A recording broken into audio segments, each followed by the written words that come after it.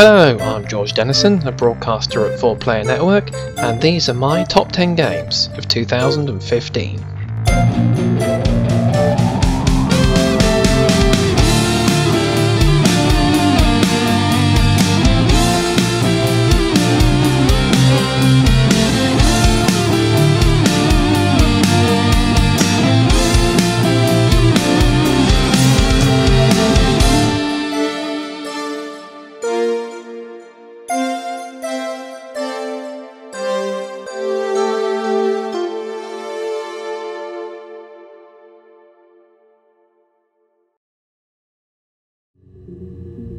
Her story is surprisingly compelling considering it's effectively a database of videos and a search engine.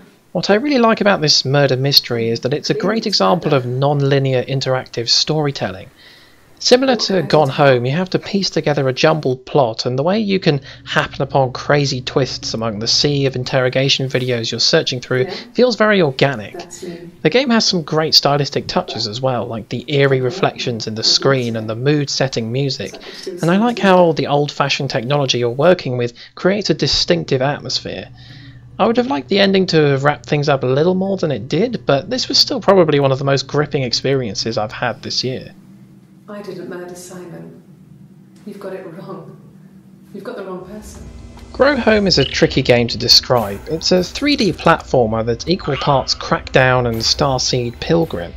I do love me some Crackdown, and Grow Home recaptures that same collector's compulsion of the agility orbs with its crystals. You see one, collect it, and then you spot another one on a distant rock or floating island, and you collect that one, and then you see another and another. All of them have to be reached using the game's crazy control scheme where you control both arms of the robot dude you play as independently. It takes a bit of getting used to, but when you do, it's a really fun and tactile way of traversing the environment. The crystals help you upgrade your jetpack, and who doesn't love jetpacks in games? Or you can straddle the giant plants that grow up into the sky towards your mothership, there's something really satisfying about reaching the top and looking down on the network of platforms that you've grown, like some kind of digital sculpture, and then throwing yourself all the way down to the bottom, of course, because why not? The verticality in this game is crazy. Yeah, the game's pretty short, but does Metal Gear Solid 5 have an adorable little robot with a jetpack that uses flowers as parachutes? No, it doesn't. So Grow Home is clearly better than Metal Gear Solid 5. Oh, and it's my ninth favourite game of the year.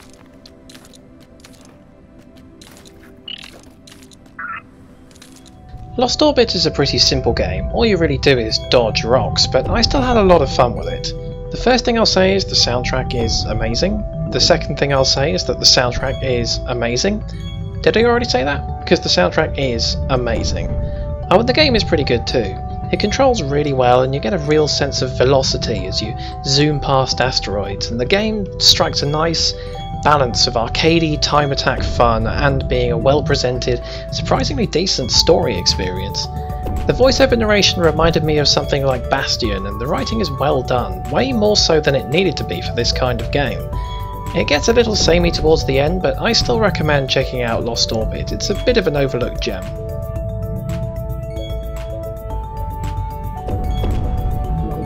We live in this post Five Nights at Freddy's 4 world where I feel like the art of the jump scare is getting lost amongst all the YouTubers screaming and wetting their pants, so I'm glad that Until Dawn exists. Not that it didn't lead to a lot of YouTubers screaming and wetting their pants while playing it, but it's great to see a game that hasn't forgotten how to get jump scares right. Until Dawn really nails the tension and suspense of a classic teen slasher flick and shamelessly wears its influences on its sleeve. Also, it looks great with its use of photorealistic face capture technology, and the acting's not half bad either. I'm a big fan of the fourth wall breaking therapist sections, and I think it's in these sections that the game shows that although it's heavily influenced by cinema, the game absolutely wants to make the most out of its interactivity. Compared to other games following the Telltale adventure game template, Until Dawn is refreshingly upfront about exactly how choices affect the story, actually showing you the cause and effect of each major decision you make. Some of it is still smoke and mirrors, and the fact that one major decision is pre-decided is kind of a bummer, but even if it doesn't hold up well to a second playthrough, I still enjoyed my first playthrough a lot from start to finish. QTEs still kinda suck though.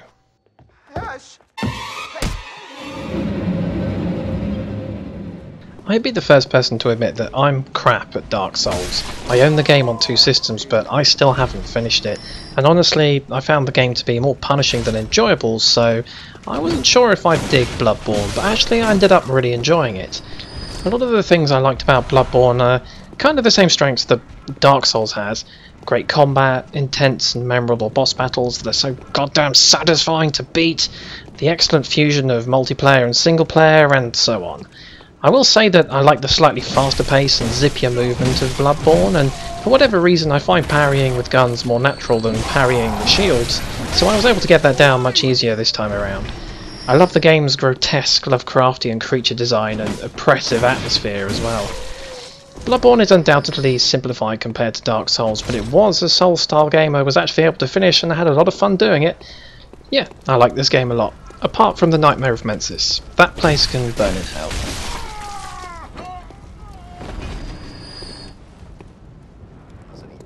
Batman Arkham Asylum and City were two of my favourite games of the last generation, and I say this to give some context when I say that Batman Arkham Knight is my least favourite of the Rocksteady developed trilogy, which is not to say it's bad, it wouldn't be on this list if it was.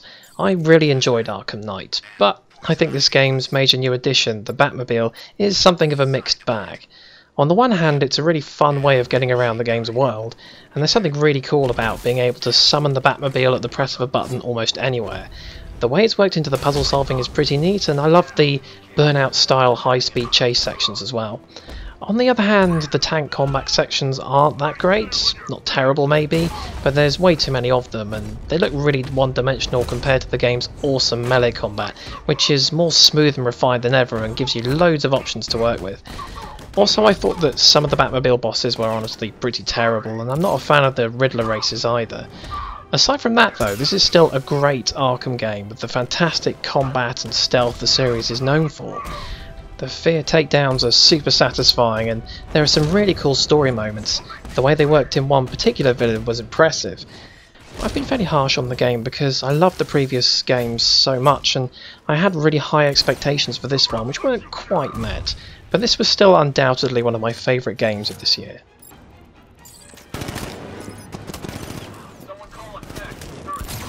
With The Beginner's Guide, David Wreden's follow-up to the Stanley Parable, Wreden has created another game that's difficult to describe, and I can't really say why this game is on this list without spoiling it for those who haven't played it. Damn you, Davey! What I will say is that, although tonally this is very different from the Stanley Parable, The Beginner's Guide is another really intriguing metafictional trip that explores the relationship between a creator and its audience. This one feels much more personal to Wreden and blends autobiographical detail with with fiction in a way that feels makes it feel disarmingly honest, whilst also being a nice bit of interactive storytelling.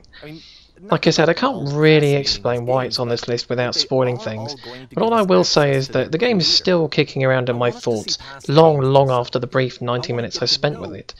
It's a game I suspect some people will love and others will hate, but I still recommend just going into it blind and experiencing it for yourself. Coda starts making these games, and he never releases any of them. He doesn't put them onto the internet. Much like Klei Entertainment's last stealth game, Mark of the Ninja, what's made Invisible Inc such a delight for me hasn't just been its tight design, but also how it feels to play. They always do a great job with nailing the presentation of their games, and this is no exception, with incredibly slick visual and sound design that really immerses you in these bite-sized stealth heist missions. It's definitely a game that warrants playing on higher difficulties once you get the hang of its systems, and the combination of randomised maps, permadeath, limited rewinds, and a steadily increasing security level demands the player to continuously think on their feet. There's also a neat risk-reward dynamic where players can try and explore every room, hack every safe, and leave with as much loot as possible, but with every turn security will steadily increase until the whole area is swarming with guards and security cameras. And then you're ducking and weaving out of guards' line of sight, hacking security cameras, planting bombs on doors, inching closer and closer to the escape, and when one of your agents gets gets spotted and then the other agent jumps out from behind a computer terminal with an ambush attack as he goes to investigate, it's just so damn satisfying every single time. I'm not normally a fan of turn-based strategy games, and I'm surprised not only that I enjoyed this one so much, but that it was just as intense as any great real-time stealth game I've played. But hey, it's Klei Entertainment and they've made some damn fine games, so perhaps I shouldn't be surprised at all. To top it off, there's a great selection of characters and abilities to unlock that encourage different playstyles and approaches. Unlike many, maybe even most of the games I've played this year, I've been drawn back to Invisible Inc time and time again. I think it's great, and it's my third favourite game of 2015. What was that?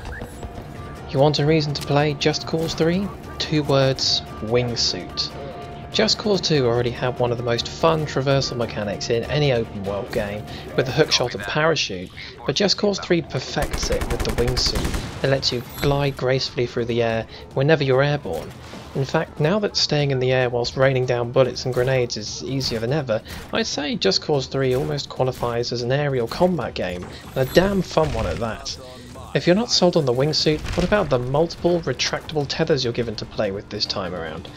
They remind me of the magnet gun from Red Faction Armageddon, which is one of my favourite weapons of all time, and combined with the game's insane physics, they're responsible for some of the finest slapstick comedy I've experienced in a game to date. This game also has some of the most satisfying explosions ever, and I love how easy it is to create a domino effect of destruction when tearing bases apart. You can fling an explosive barrel at a fuel tank, which will then fall onto another fuel tank, which will roll towards a generator, which blows up. I mean, you get the idea. Some reviewers complained about the game getting repetitive, but I actually found the rhythm and flow of the game's progression to be very addictive, as you liberate a base, which unlocks challenges, which earns you gears to unlock crazy upgrades that make liberating bases even more fun. Most of the single player missions I've played have been pants, but I mostly ignore them as much as I can.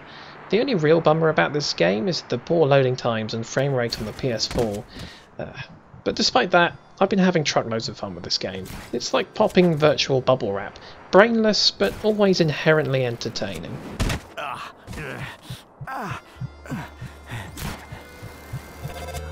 Undertale, a game that's managed to enrapture and enrage people in equal measure. Is Undertale the best game ever made? I don't think so, no. But it is my favourite game of the year. Why? Well, for me, no other game from this year has been so full of clever little surprises. No other game has made me laugh from start to finish. No other game has so confidently smashed through the fourth wall to such great effect. No other game has had characters that are well written enough that you actually care about them far more than you would expect by the end. No other game has given me the option to talk my way out of every single fight, or simply to kill everyone if I wanted, and has bent the tone of the story around these decisions. No other game has seamlessly blended the bullet hell, RPG and puzzle genres to create something that actually felt unique. No other game has let me date a skeleton or had this many bone related puns. For me, no other game from this year has been quite as delightful as Undertale, and that is why it's my game of the year for 2015.